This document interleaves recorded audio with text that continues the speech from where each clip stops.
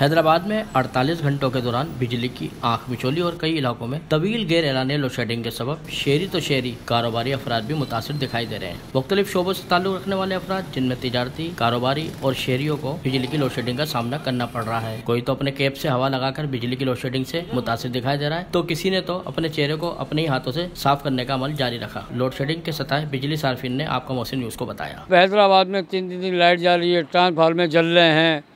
कोई सुनाई नहीं है। लतीबाद का एरिया ले लो फुलेली का एरिया ले लो, सब में ट्रांसफार्मर आठ आठ दिन में लाइट आ रही है। और ये जो ट्रांसफार्मर जो गवर्नमेंट बना के दे, देने का हक रखती है, वो आवाम से पैसे इकट्ठे के जा रहे हैं, एक एक लाख रुपया। यहाँ पर इंडस्ट्रीज़ बंद हो गई हैं। जनरेटर पे आपका फ्यूल हर इंडस्ट्री अफोर्ड नहीं कर सकती। यूपीएस और दूसरे जो सिस्टम है, वो भी इलेक्ट्रिसिटी से चार्ज होते हैं, वो भी चार्ज नहीं हो रहे।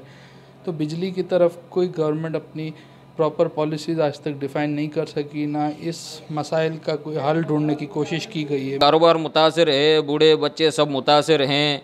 लाइट बंद है आप देखें कारोबार जो है पहले ही कोरोना की वजह से कारोबार ठिप पड़ गए थे और ऊपर से लोड शेडिंग आ गई। इसको चाहिए अब लगाम दे दो हम ज़्यादा बर्दाश्त नहीं करेंगे। लोग परेशान हो रहे हैं यहाँ पर लोगों का कारोबार तबाह पहले हो चुका है। और मजीद लाइट जब जाती है तो मजीद तबाह हो जाता है। चौबीस घंटे के अंदर तकरीबन आठ से बारह घंटे जो है लाइट नहीं होती है। अब आप मुझे बताएँ, जो बुनियादी चीज़ है हमारी, हमारे मुआरे की सबसे बुनियादी चीज़ है लाइट।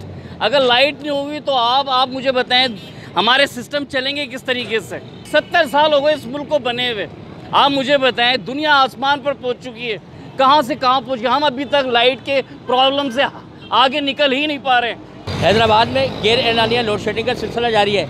या शहरों का मुतालबा है कि लोग आसमान भी पहुँच गए, लेकिन आज हम ज़मीन पर ज़िंदगी गुजारने पर मजबूर है। लोड शेडिंग का खात्मा किया जाए ताकि हम बेहतर ज़िंदगी गुजार सकें। कैमरामैन आसिफ कुरेशी, कैमरा, अरशद अंसारी, आपका मोहसिन न्यूज़ हैदराबाद।